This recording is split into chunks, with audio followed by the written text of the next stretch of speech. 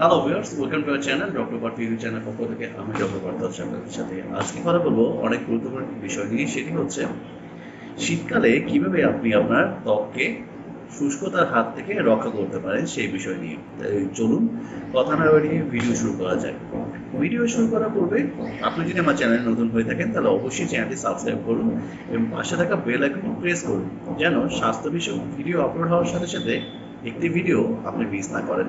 শীতকালে দেখা যায় কোনো কারণেই বা অকারণে অনেকেরই শরীর দেখা যায় শুষ্ক হয়ে যাচ্ছে এবং আমরা যদি দেখি, অনেকে দেখায় আপনাকে নখ দিয়ে দাগ দিলে সাদা দাগ পড়ে যাচ্ছে। এটা বুঝতে হবে তার শরীর অনেক বেশি রুক্ষ হয়ে গেছে। কি কারণে এগুলো হয়?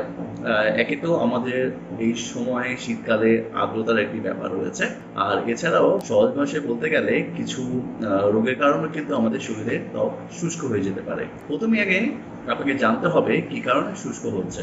যদি কারও এরকম সমস্যা দেখা দিয়ে থাকে আর কি, তাহলে অবশ্যই নিকটস্থ চিকিৎসকের নিকট গিয়ে চিকিৎসা গ্রহণ করবেন। কি করলে আপনি এই শুষ্কতার হাত থেকে আপনাকে রক্ষা করতে পারবেন শীতকালে আমাদের ত্বক অনেক শুষ্ক থাকে। প্রথমেই যেটা বলেছি, আর্দ্রতার কারণে। তাই প্রাথমিক চিকিৎসা হিসাবে আপনি আপনার শরীরে একটি ময়শ্চারাইজার ব্যবহার করতে পারেন। অনেক ধরনের মেডিকেটেড ময়শ্চারাইজার এখন বাজারে অ্যাভেলেবেল রয়েছে। অনেক আগ থেকেই আছে। বিভিন্ন নামি ব্র্যান্ডের যেমন রয়েছে এবং লোকালও কিছু ময়শ্চারাইজার অ্যাভেলেবেল রয়েছে সব জায়গায়।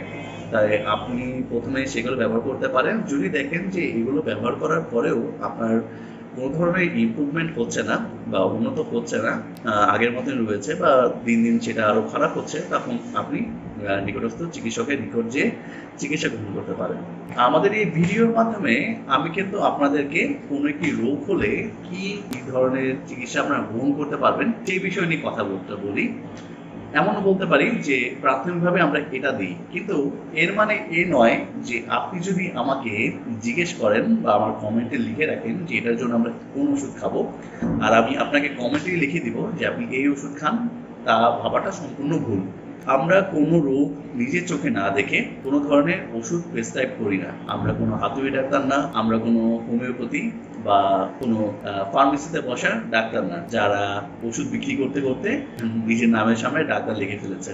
ঠিক যেমনটা বলছিলাম আর কি আমি কিন্তু কোনো ধরনের ওষুধ সরাসরি ইউটিউবে বলে থাকি না। তাই আপনি যদি আমার কাছ থেকে বা অন্য কোনো চিকিৎসকের নিকট থেকে চিকিৎসা গ্রহণ করতে চান, তাহলে অবশ্যই আপনাকে সশরীরে তার সামনে এসে হাজির হতে হবে। আর প্রাথমিক চিকিৎসা এটা আমরা নিকটস্থ চিকিৎসকের নিকট থেকে নিতে পারি, যারা এমবিবিএস পাস করেছে। কিন্তু যেসব সমস্যা অনেক গুরুতর, সেই চিকিৎসাগুলো অবশ্যই আমরা একজন স্পেশালাইজড ডাক্তারকে দেখিয়ে চিকিৎসা গ্রহণ করব। সবার সুস্থতা কামনা করে শেষ করছি। ধন্যবাদ সকলকে।